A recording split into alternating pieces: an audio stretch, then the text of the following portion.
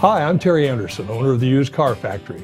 We're located on the corner of Court and McAndrews, just two blocks west of the Rogue Valley Mall. I wish I could tell you we're having a gigantic sale or you'll save five to ten thousand dollars when you buy a vehicle from us, but that just isn't the case. For almost 30 years, the Used Car Factory has done things a bit differently. Our prices are clearly marked on our vehicles, and all we ask of our customers is to shop and compare our prices with others in the Rogue Valley. So why would you purchase a vehicle at the Used Car Factory? It could be price, it could be the 90-day warranty and the free tank of fuel, or it could be the no pressure attitude of our salespeople. The fact that we're here to help you with any problems for as long as you own the vehicle could also be a reason for buying at the used car factory. As a small lot, we realize we won't sell all the cars in the Rogue Valley, but if you like to see what buying a car was like 50 years ago, stop by, look around, and say hello.